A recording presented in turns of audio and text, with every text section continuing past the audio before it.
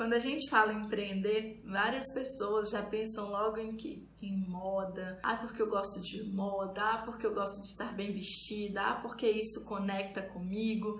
E várias pessoas abrem seus negócios na internet começando através da moda e tudo que envolve moda, seja roupas fitness, roupas plus size, roupas infantis, roupas de homem, tudo que envolve o universo da moda é um grande atrativo para as pessoas montarem um e-commerce. Mas como fazer para o seu negócio de moda, para o seu e-commerce de moda, para o seu site que vende moda hoje decolar na internet, vender todos os dias? sou Sabrina Nunes, criei a Francisca Joias, o maior e-commerce de joias contemporâneas do Brasil, e hoje ajudo você que quer vender produtos físicos pela internet. Mesmo que você nunca tenha vendido, mesmo que você não saiba por onde começar, eu tô aqui para te ajudar com muito conteúdo gratuito. Então já chega chegando, já deixa teu like nesse vídeo que é importante para mim. Comenta aqui embaixo, hashtag inteligência do YouTube. Eu vou saber que você quer receber mais conteúdos meu. Eu vou entender o que você gosta, o que você não gosta e vou cada vez mais produzir conteúdos para te ajudar. Então se inscreve no canal aqui, ativa o sininho para receber as notificações. Tem vídeos que só quem é inscrito recebe e comenta aqui embaixo, hashtag inteligência do YouTube para eu saber que você está me ajudando. Hoje em dia, muitas pessoas querem vender moda porque desperta o desejo, principalmente através do Instagram. Né? O Instagram é uma, mídia, uma das mídias sociais mais usadas pelos brasileiros e nela tem um apelo visual muito grande. Então, o Instagram é muito de imagem e tudo que tem apelo visual acaba estando relacionado à moda. Mas na real, como é que você pode montar uma e-commerce do zero, partindo do zero, mesmo que você tenha só uma loja física de bairro ou uma lojinha e queira vender moda na internet? O que, que você pode fazer para dar os primeiros passos? Primeiro passo é ter um Instagram. Segundo passo é pensar em qual plataforma você vai utilizar para vender os seus produtos. E o terceiro passo é definir bem a sua persona. Tem outros vídeos aqui que eu falo sobre persona, tem outros vídeos que eu falo sobre Instagram. Hoje eu vou concentrar aqui as informações sobre a sua loja de roupa. O que mais você precisa ter para ter sucesso na internet vendendo moda? Depois de ter o seu público definido, você vai pensar em como a sua loja vai atender esse público que você definiu. Então, por exemplo, se a sua loja é uma loja infantil, como é que você vai facilitar a vida do seu cliente para que ele possa escolher de maneira simples, fácil e objetiva os produtos infantis que você vende naquela loja? Então, como é que ela vai conseguir medir a roupa? Como é que você vai pensar na descrição desses produtos? Como é que você vai pensar no posicionamento de marca? Como é que serão as cores, as imagens? Se você vai usar foto em estilo, se você não vai usar foto em estilo, tudo isso faz parte do planejamento da sua loja online de roupas. Ter uma loja online de roupas é muito mais que ter um Instagram vendendo todos os dias. Você pode sim ter o Instagram junto com a sua loja online um do lado do outro, um fortalecendo o outro canal. Mas a sua loja, o seu sonho, o seu e-commerce não pode ser construído e pautado só no Instagram, porque o Instagram é uma ferramenta que não te pertence, não é sua. Qualquer momento que o tio Marquinhos tiver zoado lá, tiver infeliz com o mundo, ele acaba com o Instagram. Assim como agora tem a estratégia dele que as imagens não terão mais likes. Então tudo pode acontecer, porque o Instagram não é ferramenta nossa. E isso acontece muito com os e-commerce, com as lojas de roupas. Então você cria um Instagram, começa a postar foto, começa a ter pessoas interessadas no seu produto e você cria uma loja no Instagram. Isso não é ter um e-commerce, isso não é ter uma loja. Ter um e-commerce é como você vai automatizar esse processo de compra para facilitar para o seu cliente e para que você possa ganhar escala. Falando em escala, quando você tem uma loja de roupas, tem uma estratégia que muita gente erra, um negócio que muita gente erra e que eu vou te ajudar para você não errar mais. Na hora de cadastrar os produtos, se você tiver o mesmo modelo de roupa em cores diferentes, Faça cadastros únicos, não dê muita opção para o cliente ficar escolhendo e mudando, porque quanto mais cliques tem, menor é a taxa de conversão. Então, quanto mais cliques, menor a taxa de conversão. Se você tem essa blusa que ela é preto e branco e você tem uma outra que é azul e branco e uma outra vermelho e branco, você não pode cadastrar uma e deixar ali no box a opção para que ela possa escolher se ela quer a vermelha ou a verde. Você tem que fazer um cadastro para verde,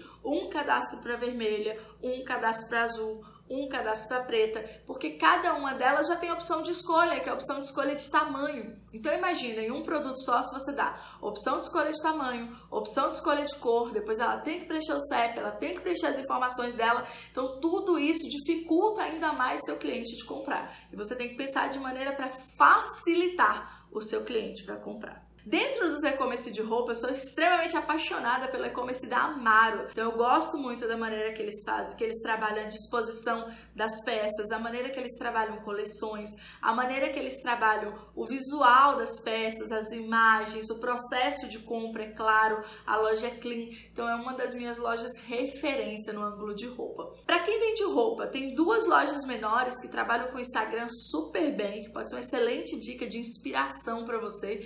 Uma é a loja da Danila, é Danila Guimarães, se eu não me engano o nome dela, e ela vende roupas e ela faz fotos, faz um conteúdo muito bacana e ela começou pelo Instagram e ela não tem e-commerce ainda. Ela só atende pelo WhatsApp. O outro é uma loja que se chama Loja da Ruiva, que inclusive é minha aluna. E a Loja da Ruiva também faz uma geração de conteúdo incrível. Ela trabalha muito coleções, ela trabalha com as peças, ela faz imagens legais para as redes sociais e leva esse público todo para dentro do seu e-commerce, para dentro do seu site para poder fazer vendas. Quando se fala em um site de roupas ou qualquer um que seja, quando se fala em ter um site, quando se fala em vender pela internet, é interessante você deixar as informações claras para o cliente, principalmente quando você vende roupa, principalmente sobre trocas, sobre trocas sobre tamanho, quem paga o frete, quem não paga, ah, sobre gostei, não gostei, como é que faz no processo de trocas. Inclusive, o processo de trocas pode ser uma grande quebra de objeção. Então, você trabalhar muito marketing em cima de processo de troca, como é fácil trocar com você, como você facilita a vida do cliente, isso pode te ajudar muito a vender. Para quem vende roupa, é extremamente importante que você crie posts, crie conteúdos com prova social, mostrando para as pessoas, outros clientes seus, usando as suas roupas, mostrando para as pessoas como é que as pessoas ficam, como é que aquele produto em um corpo normal, tudo que é diferente vende, né? Então, como é que você pode quebrar o normal? Como é que você pode ser diferente? Como é que você pode ser irreverente? Como é que você faz para poder chamar a atenção das pessoas vendendo roupa? Trazendo uma pessoa com um corpo diferente, com tatuagem, sem tatuagem, com piercing, uma, uma modelo que às vezes pode seguir o padrão, outras que não seguem o tão famoso padrão. Isso é uma maneira de você chamar a atenção, isso é uma maneira de você mostrar que você faz diferente, que você é diferente e que você vai despertar a atenção das pessoas pelo seu produto. Vender em marketplace é excelente para quem vende roupas. Então você começou a vender roupa, já se cadastra nos marketplace e tem um grande cuidado. O cuidado em estar sempre gerando valor para o seu cliente e não vendendo só por preço. É comum quando a gente vende roupa que muitas vezes tem, parece ter tudo igual, né? Então lança uma modinha de uma blusa, em todos os lugares tem essa blusa. Então nessa hora, mais uma vez, entra a importância do foco na sua persona. Se a sua persona não é uma persona que é ligada em moda, que é ligada em modinha de novela, isso não vai fazer sentido você trazer para o seu negócio. E aí você vai perder tempo e vai perder dinheiro. Entenda a sua persona, traga o estilo de roupa que a sua persona quer, cadastre isso para facilitar a vida do seu cliente. Utilize o Instagram e o Pinterest, que são as mídias melhores para quem vende roupa. Fortaleça a sua marca, crie uma embalagem que chame atenção, uma embalagem que encante, uma embalagem que o cliente vai abrir e falar assim: "Uh, Uau, que bacana, que bonito, que legal ter comprado nessa loja. Nossa, eu vou postar. Incentive que os seus clientes sejam seus maiores divulgadores. Isso vai ajudar muito a potencializar seu resultado e crescer o seu nome ao longo do tempo. Para quem vende moda, tem uma estratégia de conteúdo que está bombando agora no Instagram, nas redes sociais, é aqueles videozinhos onde as pessoas trocam de roupas, né? Então elas mostram como é que você pode combinar um short jeans com cinco modelos de blusa ou uma blusa preta com três modelos de calça. Esses videozinhos são legais por cinco motivos. Ele conecta, porque a gente às vezes quer repetir a roupa e não sabe como repetir. Ele viraliza, porque ele é um conteúdo simples, prático e que gera curiosidade. Ele gera empatia, porque o cliente vai olhar e falar assim: nossa, uma marca me ensinando a usar duas ou três vezes o mesmo produto dela, que legal. Ele gera venda, porque ele vai despertar o desejo nas pessoas, as pessoas vão querer comprar. E ele gera desejo de distribuição. Então, mais pessoas vão querer compartilhar, mais pessoas vão querer estar ali vendo, comentando, compartilhando. Isso ajuda na distribuição do conteúdo, que vai ajudar você a impactar mais pessoas e vender mais. Eu espero de verdade que você tenha gostado das estratégias sobre como ter um e-commerce de moda. Só não esqueça, tem uma coisa muito legal que eu já esqueci de falar com vocês, de ter um mecanismo de avaliação. É importante. Eu utilizo na Francisca Joyce o Your Views, é muito importante e pode te ajudar muito aí no seu negócio. Beijo grande para vocês. Comenta aqui embaixo hashtag inteligência do YouTube para você, para eu entender o que você tá curtindo, o que você não tá curtindo, como é que eu posso te ajudar ainda mais. Me segue nas redes sociais.